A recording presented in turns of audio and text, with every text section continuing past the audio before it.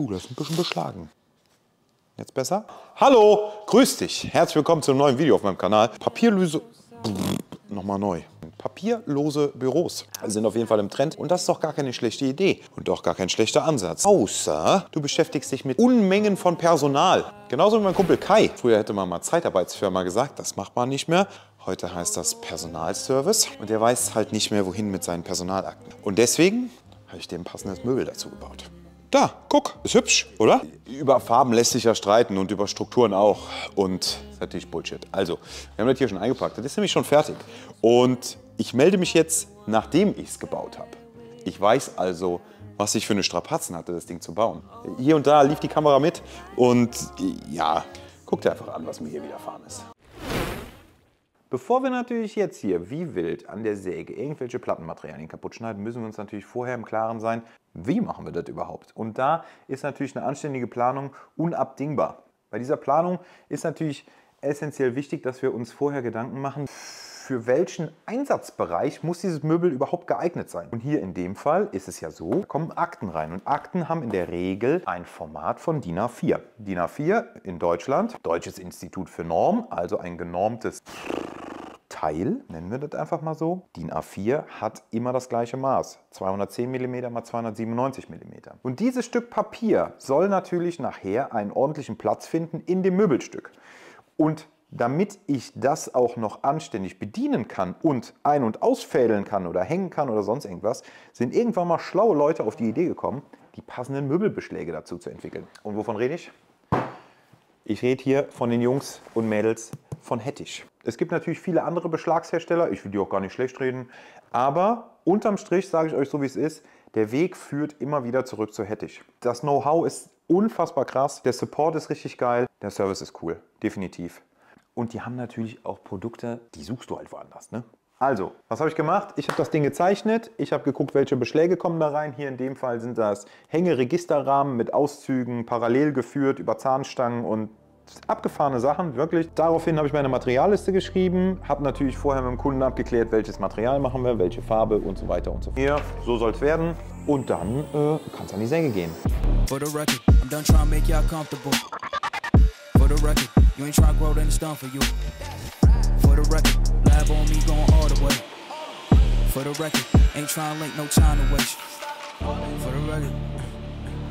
Dieser Werkstattwagen fährt auch nicht mehr so geil.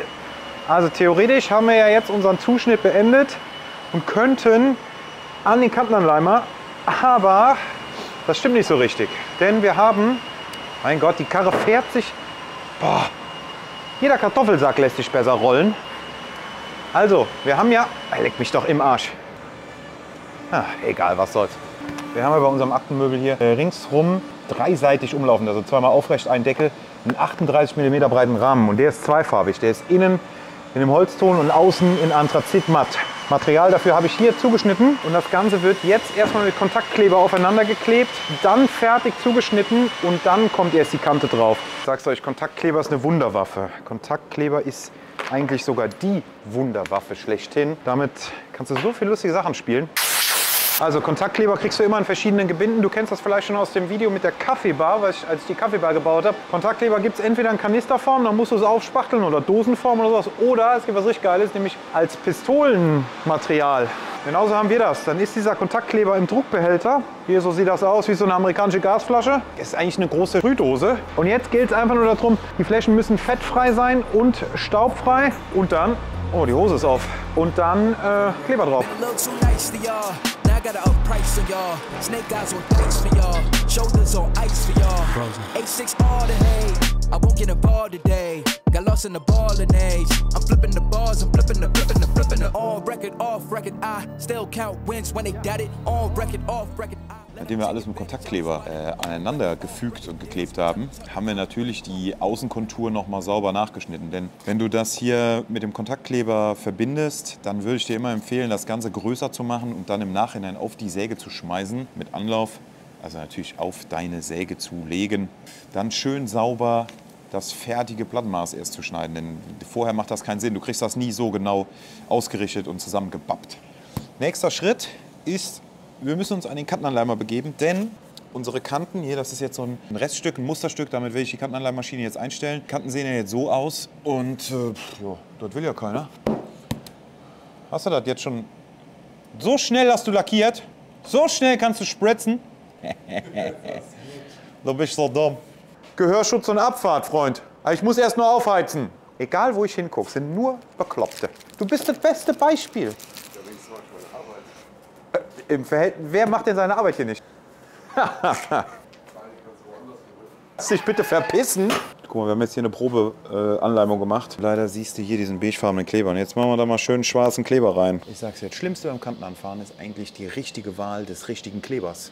Denn du hast gar nicht so viel Auswahl an Kleberfarben wie Kanten. Da wird zwar immer gesagt, du kannst das alles mit neutral anfahren oder naturell oder nenn das wie du willst. Das ist ein komischer Cremeton. Ja, okay, dann kannst du natürlich alle Holztöne mit anfahren. Ja, das geht. Dann gibt es noch weiß und dann verließen sie ihn auch schon fast, weil der Kleberhersteller wahrscheinlich sagt, es gibt nur weiß und Holz. Ja, aber was ist denn mit diesen ganzen dunklen Tönen? Wenn du jetzt wie wir zum Beispiel hier nicht mit Nullfuge arbeitest, sondern mit einer normalen Schmelzkleberkante oder mit normalem Schmelzkleberauftrag, dann hast du halt das Problem, dass du hier, sieht man das? Da, die waren die Klebeschicht. Und das ist ja bei so einem Ding hier, das ist ja undenkbar für mich, das geht ja nicht. Ich kann ja nicht eine matte Oberfläche machen, eine matte Kante machen und dann sehe ich diese cremefarbene Klebefuge. Deswegen machen wir das jetzt so, dass wir unseren Kleber hier einfärben. Und zwar gibt es noch von Jovat schwarzes Klebergranulat. Jetzt versuche ich mit dem schwarzen Klebergranulat, weiß und creme, den passenden Kleberfarbton zu generieren für hier das Plattenmaterial. Äh, wir werden sehen, was draus wird. So, Test. Test, Test, Test, Test. Was wollen Sie? Start hier schon mal, ja? Ich habe noch gar keine Kante eingebaut hier. Bin gespannt, ob das passt von der Farbe. Das wird geil.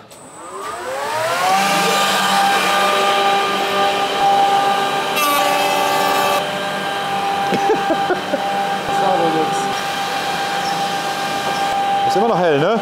Ist nicht so einfach. Mir einfacher vorgestellt. Ich habe gedacht, schmeiß ein bisschen Schwarz dazu und dann ist gut. Und? Leuchtet doch noch raus, ne? Ja, es ist schon besser. Also mal eben zum Protokoll, wenn du denkst, das ist super easy, hier Schmelzkleber äh, einzufärben, mit so ein bisschen Granulat und so. Es geht, wir sagen mal, es geht. Das Ergebnis ist, würde ich sagen, ganz gut geworden. Ich starte jetzt gleich noch einen Versuch. Äh, aber ich finde es echt ganz gut. Es ist erschreckend, wie viel Schwarz ich da reinschmeißen musste, dass ich einen halbwegs adäquaten Farbton bekommen habe. So sieht's aus. Ich tüftel jetzt hier noch ein bisschen und dann können wir morgen hier frisch, fromm, fröhlich, frei starten und Kanten ballern. Damit der Exi auch zufrieden sein wird. Hoffentlich. Naja, eigentlich muss ich zufrieden sein. Mittlerweile haben wir alle Kanten angefahren. Es ist alles ringsrum bekantet, sauber, ordentlich, tippitoppi in. Ordnung. Das war eine relativ lange Odyssee. Das ist perfekt. So, das sind unsere Korpusböden. Und jetzt, wir wissen alle, wie es ist. Es kann schon mal sein, dass hier und da irgendwo, keine Ahnung, ein kleiner Produktionsfehler ist. Deswegen suchen wir uns natürlich die Seite, die am beschissensten ist und drehen die dahin, wo man sie am wenigsten sieht. Das klingt logisch, das weiß ich. Deswegen machen wir das auch. So, das heißt, ich habe jetzt beide Innenseiten oben liegen. Innen, innen. Ja, das ist mein Deckel, das ist mein Boden. Jetzt, guck mal, wir erinnern uns, so soll das Ganze werden. Das heißt, wir haben hier sechs Schubladen. Wir haben hier sechs Schubladen, eins, zwei, drei mal zwei.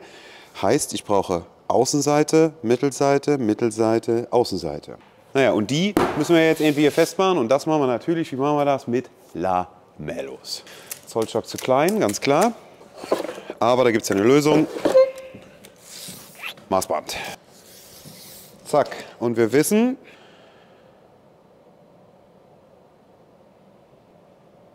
Ist es zu klein? Oh, ich hoffe nicht.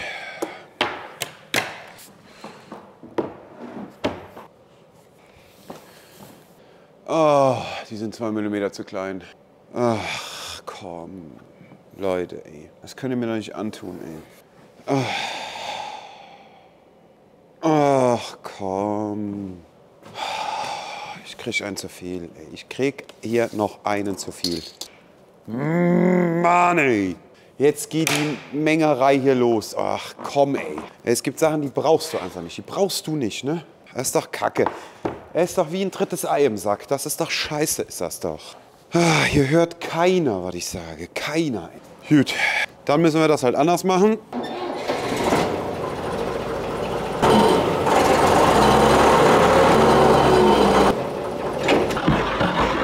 Es gibt da so ein altes komisches Sprichwort, das kommt eigentlich aus dem Drechseln. Und da sagt man, was fort ist, ist fort. Ne? Das ist auch so eine kölsche Grundregel. Was fort ist, ist fort. Aber wir haben eine Maschine, damit können wir draufhobeln. Völlig doof.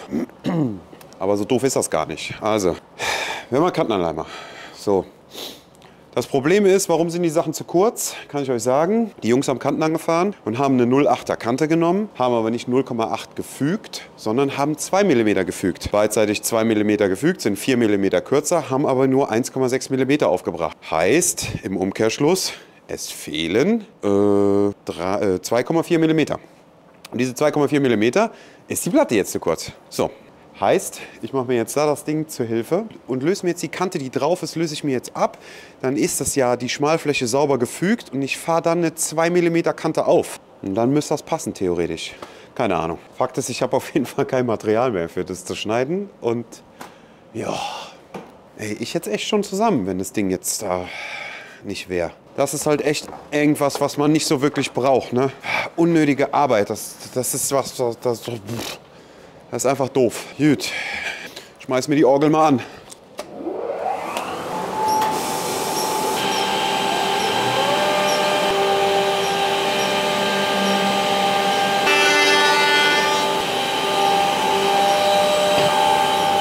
Und genau an dieser Stelle endet das Video auch schon, weil ich tatsächlich einen Speicherkarten-Crash hatte. Ja, Warum auch immer sind Daten verloren gegangen, keine Ahnung, ich kann es dir nicht sagen. Aber es ist halt doof und es ist ärgerlich, aber ich kann es jetzt auch nicht ändern. Heißt, hier ist alles fertig und morgen wird geladen und dann geht's ab nach Berlin. Das heißt, ich werde ungefähr 600 Kilometer fahren. Ich hoffe, dass dir das Video bis hierhin trotzdem gefallen hat und du beim zweiten Teil auch dabei bist. Und äh, dann siehst du das fertige Produkt. Und ich hoffe, ich glaube, das wird richtig gut. Das wird zwar so elendig schwer. Naja, egal. Soll nicht eure Sorge sein. Wir sehen uns. Hau rein.